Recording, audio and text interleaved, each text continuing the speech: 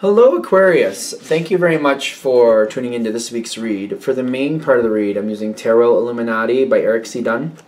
Supportive Oracle cards, Queen of the Moon Oracle by Stacey Demarco. Bump, bump, bump.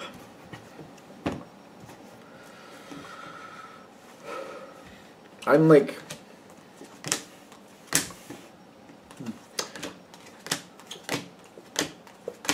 just did Libras. I don't know why we're mentioning it in yours, but there might be something about a heads up about a person you're dealing with. I don't know why. I mean, you're both air signs, but I don't know why I'm so pulled for that, but I'm kind of pulled for that. So just keep that in mind. If there's something here or there's a person you're thinking about and you're just kind of like, I don't understand their deal, that may make sense to you, let me know in the comments uh, if, if that if you do check that video out, if that actually worked or not, if that really was connected to you or not. Like if it's pinging in your head, like hmm, maybe that would help. Let me know in the comments if that actually was the case, or if it's just maybe I'm stuck on Libra at the moment. but this reading here, this one's for Aquarius, so this is very Aquarius. We're in Aquarius energy. Okay. Um. Faith. There's like there's like a big energy here. Like everything's happening all at once. Um, I, I almost feel like I'm starting or I'm getting involved in a project and there's a lot happening all at once. There's a lot of beginnings happening, by the way.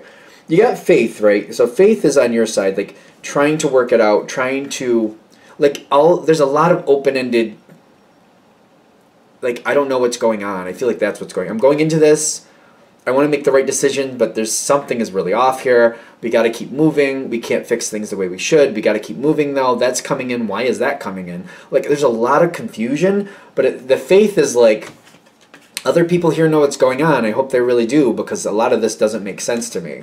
Um, there's resistance going on here as well. Like somebody doesn't well, I don't want to say somebody. Like there's the energy of like not giving up. Things are a little weird. There's a little weird energy here some of the stuff that you're thinking doesn't fit, you are flat on dead on with that. Some of the stuff does not fit. There's things showing up, there's people doing things that does not it doesn't match the situation, it doesn't help the situation. I just feel like you're at a position where you're like, I don't even know. Like I feel like you're at that point where you're like some of this doesn't look like it fits and it doesn't make sense to me, but I don't really know. Like maybe it does, but I don't see how. I feel like you're probably dead on. Like the things you're looking at, like I don't get why that's here you know what I mean? It's kind of like you know. It's like if you if you work on a farm and somebody brings like a rack of clothes in, like a rack of suits, you're like, why is there a rack of suits in the field? Like I don't understand. What? what? I don't I don't get it. Yeah, because it doesn't belong there. There's a lot of things here in this situation that don't belong, but I don't think you really have time to really work through that anyway. You're like too much else going on. Why that's here, don't know, can't deal with it. Got much more important things Got to do things that are more important first. Somebody else is going to have to handle that. Um, there's a lot coming in. I keep feeling like there's a lot going on. There's confusion, things that don't belong here, things that you you're like I can't deal with that. All right, so you're accepting what you can do and you're walking away what you can't. The energy is like there's a lot. It's like I feel like it's constantly going. Like I'm trying to hold it together and it's like it's a lot. Um, I'm getting right off the bat. If if this is gonna fit, this is a situation where there's just like you just got to do your best and keep moving and you're not not everything's going to make sense. For some of you i feel like you're going to watch this video and be like i don't think that fits. And then within two weeks you're going to fall bam right into this. So keep it in mind. If that happens mate just search your history and then maybe watch this video then. Um, because it just happens fast and there's some confusing things. Right off the bat something that gives you strength that I feel like most of you are naturally going to do anyway is like that I can do something about, I'm going to handle that. That I can't do anything about, that I don't understand. That over there, even like the third thing over there, like I don't even want to touch that with a 10 foot pole. I'm going to center on what, what I can do. And you're just kind of like walking away from that stuff that you just like, I don't even know. And you're just going to head into what you can handle, what you can effectively make a difference with that's what the acceptance I feel with you. Like I will go into what I can handle, and whatever that other stuff is, is what that other stuff is. Um, at least at first, because once you're there, and once you start actually getting your hands dirty and getting things going, you're gonna pull in information. You're gonna figure out what's going on. When you have more of a stable standing, I'm like, oh, okay, wait a minute. Why is that rack of suits here in the field? Like that's dumb. Somebody get that out of here. like at some point, you'd be like, all right, there's no reason for that. Get it out of here. Um, discernment in the environment. All of this in the beginning is really it's too much. I don't. I, I, something is like it's too much. Somebody planned improperly. Somebody did something off the wall. Uh, things are just coming together in a very unopportune way. Um, discernment is other people. It's almost like a couple people are kind of like coming together. Like this is a mess. Somebody needs to like organize this. Somebody needs to assess what's going on and why, and organize it and get rid of the things that don't belong, and help the help the people doing what they need to do. So when this first starts, it's like somebody outside of you. It's outside, obviously. Somebody who's like I don't know. I don't feel like this somebody is somebody really connected to you, but somebody else is adding in and saying, "Listen, all right, I'm I'm gonna assess everything. I'm gonna prioritize everything. We're gonna get rid of things we don't need, and we're gonna accentuate the things we are actually making good on." This is coming in a lot of confusion right in the beginning. Okay, release in the darkness. Darkness, I don't think of as a bad card. This is kind of like where things are not quite right, but they're starting to show the ability to go better. They're, they're starting to show some type of direction. Kind of like, you know, you have, you're in that dark, you're in that darkness outside, but you can see some of the, some of where you're going with the moonlight. You can, you can see the, the basic faint path going forward, and you're like, well, all right, I kind of see where I should stay. Uh, this is, I think this is where I want to go. You're starting to see a direction here. It's starting to open up. The release is other people trying to assess and take things apart. Um, is the assessment out here? Yes, assessing is out here. Other people coming in and prioritizing and moving this out, pulling that in, and moving things around. That's creating a whole new beginning. Um, assessing beginnings, assessing. It's the beginning of assessing. Oh, oh, okay, okay, I get it. This is going to be a long process this isn't going to be just somebody coming in and saying, "Let me look at everything we got. This makes sense. That doesn't." It's, it's not going to be just a one-time thing. This is going to go over a period of months, is what I'm getting. Months, like months. I feel like it's going to go over a period of months because something is just not right here. It's like the wrong things are here. The wrong things keep showing up. It's kind of like we're in the field, we're planting, we're doing that, and then all of a sudden, you know, you have a high school class showing up to watch what you're doing. You're like, what's up with that? Well, we just needed something to do. And we thought, hey, why, why not watch what the farmers do? Um, this is there's machines here. You got you can't just follow the machine. Machine can actually be dangerous. Stay away from the machine. Don't get in the way. Be careful where you are. If I can't see you, you could get hurt. Like there's like, all right, actually, how about you just don't be here? it sounded like a good idea, but you need to go. I mean, there's weird things like that popping up I know that's an analogy, but I feel like literally it's kind of like almost like that type of thing happening. Like somebody shows up, we just want to watch, and it seems like it's okay at first, and you're like, no, no, that could be a problem. Either be distracting or dangerous or something. You know, I'm sorry. It sounds like a good idea, but I don't think it is. I think it could be a problem for me or for you or for both of us. Uh, you have to leave. I'm sorry. And I'm feeling like there's constantly things coming in. That's why this is lasting so long. That's why there, there's constantly assessing I feel like this is something where you have to you're going to have to keep in contact with whoever's working it out with discernment. Somebody seems to be the hub of this. You're going to have to communicate with them, kind of like listen. This high school class showed up and they wanted to watch, and I was okay with it at first, but then I realized there could be really some danger here, so I sent them away. I'd really kind of like you to kind of field those things and kind of keep them off to the side. I don't think that's appropriate for people like that to be out here because they could actually get hurt okay, cool. You're staying in contact with that. There's a kind. It's a. It's a convoluted situation. I don't know. You have creation with the purity here. Don't overown. Don't overown. Don't overown the situation. Whoever it is that's discerning things and prioritizing and you know reevaluating and picking it apart. Does this belong? Does that not belong? if you don't want something around you or you feel like something doesn't match for you, move that away. But then like move it over so that this other person handles it and they do what they need to do with it. Don't put that on yourself to take the whole thing to fruition because I feel like that can backfire against you. Um, this purity card is a very interesting card to me because it's kind of like I feel like a lot of times it's warning. It's like it's a warning like don't try to be perfect because perfect perfection is a a perception. Like perfection is a perception. Like I have to say, like there's there's so much white going on in this card. It usually jars me. I'm just kind of like, wow, like like the the the images on this card. Like sometimes it just kind of blows me out of the water. It just I have some adversity with it, my own personal thing, because I'm just like there's a lot, a lot of things here that it's just kind of like, it's just a warning. Like it's like it's giving you a heads up. Like be aware of what you consider to be perfect and what actually is best for the situation. Um, the world isn't a perfect place, but it's not supposed to be. It purposely has contrast. It's kind of like I've given the analogy of like the blank canvas. The white canvas is perfect because there's no blemishes. But in order to have a piece of art, you have to put color on it. You have to put shades and this color and that color and darkness and light. And all of that together is what actually makes perfection it's like purity is just kind of purity is literally blank. Like there's nothing there. Like purity is like it's very boring and there's nothing like there's nothing there. Like I don't know how to explain that. Like it's usually this card the way I interpret it is like a, it's a warning. Like what are you really looking at? How are you really feeling about life?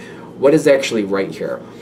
That's why I'm getting when something a little weird happens on your side, whoever's feeling all that stuff, just push it over to them. Let them handle it. Um, when I get creation and your power of creation, whatever you're owning and what you're what you're doing, own that. But don't don't try to perfectly fit in with everything else. Do your job, do your thing together, put your thing together the best you can. That's cool. But anything external, like give it over to whoever this hub is and let them handle it because I feel like it's going to become probably quite the circus at some point. Just keep that in mind and this will actually, you know, save your sanity at some point. That's what I'm getting. Now, hopefully that goes well for you and you don't get caught up in this moment where because that purity card's so weird but i'm feeling like one of the reasons is kind of like trying to help other people deal with adversities or problems or things that aren't going right seeing like see yeah those suits weren't supposed to be here in the middle of the field like i don't know why they'd be here anyway and seeing that happen to someone else and being like and telling them hey get rid of those. You're not going to need those. Just have just have them sent away. Don't see that's something you don't want to do because let just say instead of saying get rid of those. You don't want those remove them. Say talk to whoever this person is. Talk to mr or mrs or person discernment here. Talk to the discernment person. Let them know that they're there and, and have them do what they need to do with them. That's what you should say if that makes sense. Instead of saying, you know, those suits, you don't need those either. Get them out of here. Just get them out of here. Don't don't don't do that road. Say, talk to person of a discernment. Talk to that person. Tell them they're there, and then they'll take care of it for you. That's the road you want to do with that. Because I feel like that goes easier. That there's weird things happening here, constantly. Resilience is coming in. The situation is going to get heavier it gets more confusing is what I'm getting. It gets a lot more confusing, which is why even though you could technically be right saying you're not going to need those suits, you can just get rid of them, just get them out of here. Instead of doing that, you don't want to say like you don't want to tell them what to do that not because you could be potentially wrong, that's not why. Cuz you want to get them used to going to person of discernment, whoever that person is. They start at that point, they keep doing that. If you help them that first time, they're going to rely on you to keep helping them and they're going to keep coming to you with their questions. That's where you're going to really have a lot because there's going to be a lot of other people who seem to follow suit with that. You're going to have a lot of more pop up, a lot more pop up things on your own situation. This is a lot. You got a lot going on here. So if this is hitting, forever this is hitting for, you got a lot going on. The Seven of Pentacles with the King of Wands is telling me this is going to stay like this for a while this is a perpetuating situation. This is going to go like this for a while. I'm getting that months feel again. Months. It's going to go like this for a while. It's going to hold on for a while. You're going to have to do the best you can with it. Again, why you want to keep pushing people off. Like, go to see the person of discernment. They'll work it out. They'll figure it out. They'll tell you what to do with that. You don't want to take that on yourself. Even if you know the answer, always push it over to this person of discernment. That way, people won't come to you with extra things that, like, you're going to be busy enough as it is and once they get used to coming to you, they're going to keep coming to you. And it's kind of like it gets heavier and heavier. Um, It's like there's a lot. I'm still going through a lot. Sovereignty with attraction coming in. People are feeling just as overwhelmed as you. And they're going to think you're handling it very well. I don't know if you're going to feel like you're handling it very well. Technically, I feel like you're keeping afloat and you're doing your best. So you're doing, you are technically doing well. I'm just kind of like, I, I don't know if you're going to be agreeing with that. That's all I'm like questioning because you are doing well, but you agreeing with that statement and feeling like you're doing well, that's up that's up to interpretation. The thing is, people are going to be very attracted to you because they're going to feel like they can that you can bail them out of a problem because they're feeling overwhelmed. Again, this is why you want to keep pushing over to the person of discernment. This will burn you out at some point if people keep doing this to you because I feel like the people coming to you for some reason you just you feel an obligation to do your best. Um, it's not just any bum off the street. Not that we want to use that analogy, but it's not just like nobody. You know, it's somebody. They're they're people of significance to you. Yeah, I don't really like that analogy I used a moment ago, but there you go. It's not like it's some person that doesn't mean anything to you. These are people who do mean something to you, and they're attracted to you, and you're kind of like, well, I do want to help them, so. Uh, um, you got unexpected coming in in the environment with the with the uh, Prince of Cups. People like believe in you. I almost feel like some of you are like, oh, do they now? Um, because if there's something that needs to be said, you'll say it. That's why. If something's and people are frustrated, they're frustrated, and they're like, let's let's go hang out with the Aquarius. The Aquarius will say something. so, uh, be aware of that this is people have appreciation for you. Um, I almost feel like you're kind of like really okay. These are people who maybe you even have had like some differences with in the past, but the fact that you will actually open your mouth and say something when something isn't right, that's why they're kind of warming up to you. They do appreciate that. Even if they've had some like less than ideal conversations in the past with you, they do respect that when something needs to be said, you will say it. Um,